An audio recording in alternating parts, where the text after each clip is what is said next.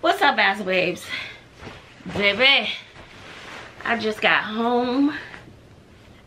Rushed home because, as usual, all the kids got something to do. Just tired. I be dog tired when I get home. Anyway, I hope y'all doing all right. Ooh. Oh, my feet are tired. I don't even think I I don't even think I vlogged my outfit today. Ain't that a blimp? The whole day was a rush. So it was busy. So I know kids gonna find out I have it anyway. But baby, I was obsessed.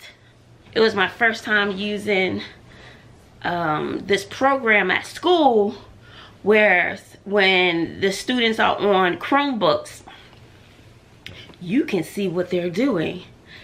And it's just fascinating to see what they're doing. So I was like, yes, Joy. Yes, Joy. Yes, we're going to have this, a productive day. This is going to be a productive day. So when the kids are testing, you're going to get all your grading done, get your grades in, because grades are due by Friday or Monday morning. So I was like, okay, so, you know, I could get some stuff done, period. Baby, I learned how to use that program today. I started looking to see what those kids were doing, and I just became obsessed. It was like hard to click away, and then you can take control of their Chromebook and what they're looking at and I was closing people's stuff. You shouldn't be on that. You shouldn't be on that. But I didn't say anything. And one little girl was like I know it was you Miss Bazzle. I know it was you who was closing my stuff I was like what are you talking about? What are you talking about huh? And I saw some messages saying this is hard. This is hard. Uh, y'all shouldn't be talking anyway. But it's like it gets so frustrating.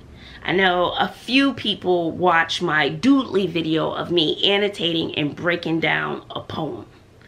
Because you cannot, for me, and what I've been telling the kids, you just can't read a poem one time and you think you got it. You figured out all the metaphors, the similes, the symbolism. You figured all that out in one read. No, it doesn't work that way. Well, for me it doesn't for many people it does not so they'll be like oh i don't understand this right because you didn't time the process and digest and dissect every line of the poem try to figure out does it really mean a red cup or is there another underlying meaning for the red cup is it a metaphor for something so whatever nobody was annotated i saw one little girl annotate i've done annotation videos I've modeled me annotating. They get their test. Nobody annotates. Then they talk about this is hard. Did you try to break it down? Or you just doing reading and that's it? You have to build a relationship. So it's almost like I feel like all this work I'm doing is in vain. Everything I'm doing is in vain. It's it it's for nothing. Because nobody is following the process. And then the grades shows. Okay? Then the grade show. But when you get a grade of a, hmm, let's just say a 100, and you've never seen a 100 from this individual, they failed everything. They don't really try. Now all of a sudden, they're the bright ones in the class.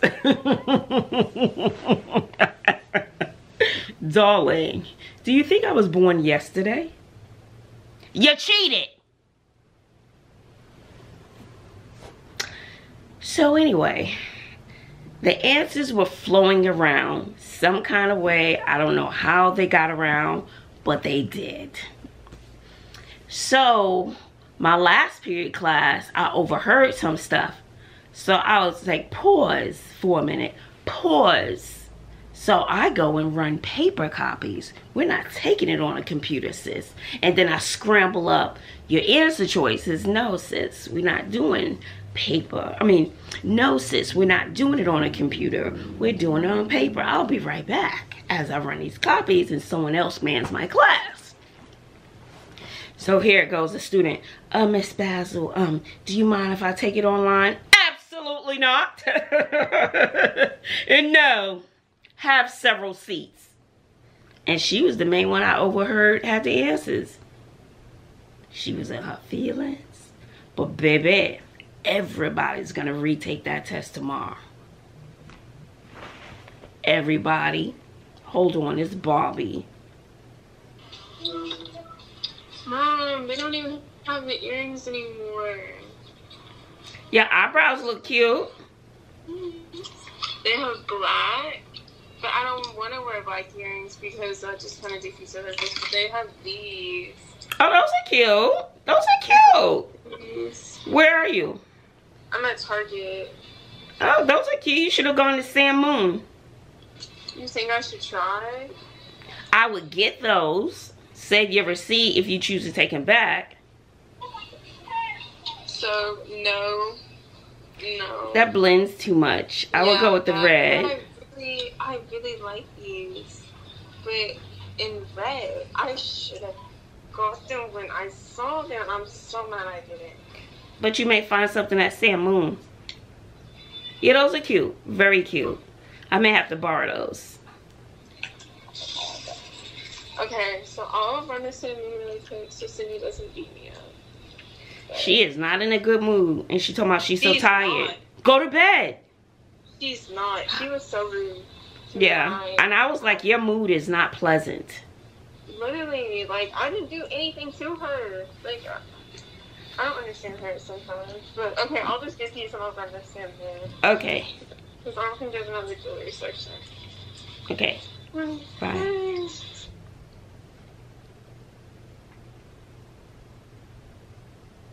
Yeah. So, you know, some of you ask about, as I digress, ask about Cindy. Sometimes she's not pleasant. She, she's she's the moody one in the house. She's just not pleasant sometimes. So I just said, I was like, what's going on with your mood? And she's like, I'm just tired. I'm tired.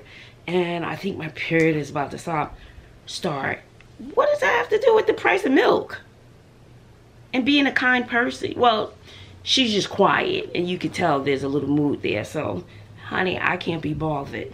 I'm not letting you rob me of my joy. I came upstairs, I ate me a little snack, a little snack, and came to my room. Yes, I did. Uh-uh, I don't want to be around that energy. I don't want to be around that energy. So anyway, that was the cheating fiasco. And so I'm going to talk to the AP tomorrow and find out what I should do. But baby, everybody's taking that test over, honey.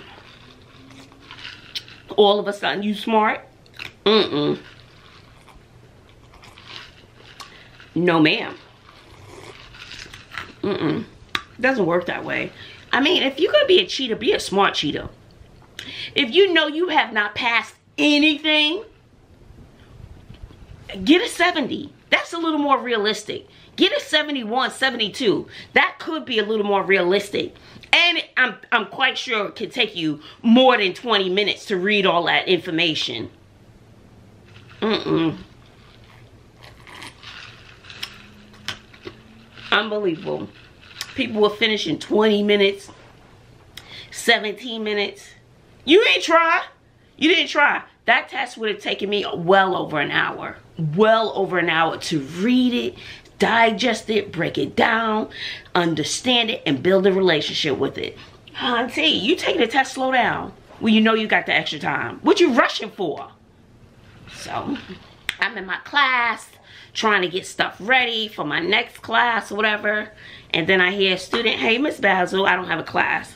So I hear, hey, Miss Bazzle, and I'm, you know, doing stuff and I didn't look up. I was like, hey, and I didn't look up. And then I looked up and I was like, what's the matter? What happened? What happened? What happened? And then tears start coming down. I'm like, okay, let me put my work aside for therapy session. So I really didn't know what to say and I don't know if I really got to her, but you can give me some advice. Leave it in the comment section below. But with this sweet pumpkin, oh, and she's so pretty.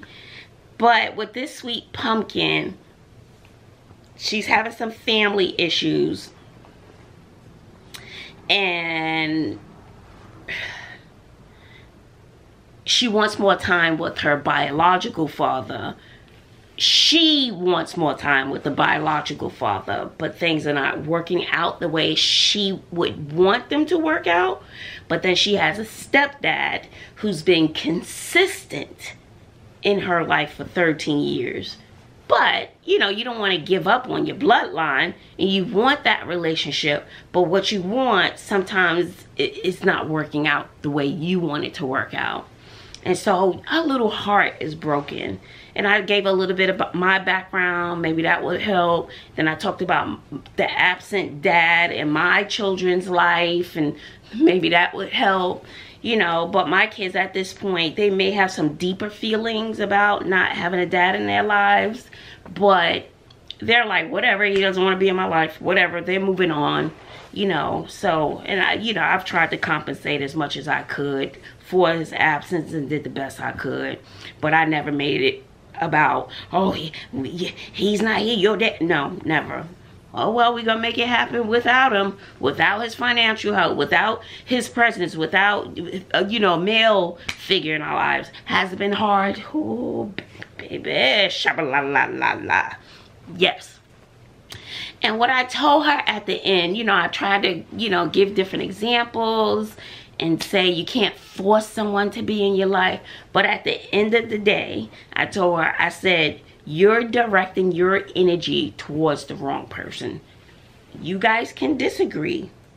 Leave your suggestions on what I can say um, in the comment section below. But what I said, I said, just because you guys are related by blood does not mean that makes him a father. You know i said the man who's been consistent i said he treats you well and everything the stepdad she was like oh yeah yeah yeah. And she didn't have anything negative to say about him. And she said she she hasn't been wanting to get close to him because she's always been putting her energy and trying to get close with her biological. But as a grown man I, I, I know the pain. But i said you need to focus your energy um, on the man who's been there for you since you've been one year old that's your father. That's who's been there with you from the good, the bad, and who has been consistent in your life. That's who your father is. And she was like, yeah, yeah. And, oh, she was just crying. And I said, you can't force people to be in your life who don't want to be there. And then I asked, I said, does he have any, you know, habits and she was like, yeah. And I said, see, I said, he's dealing with his own demons. And that's not your battle at your age. That is not your battle. I said, he needs to get himself and his life together before he can give anything to your life. So, and stop forcing people to do things that you want them to do because when they don't do them, you're let down. And then you're crying. And then you're depressed. And you're sad because they're not doing things that you wanted to do. And as a dad, you know, there's that expectation that a dad is going to do X, Y, Z, but he's not. He's not able because he's dealing with other demons as well. So you need to change your focus on the man who is your father and who's been there consistently.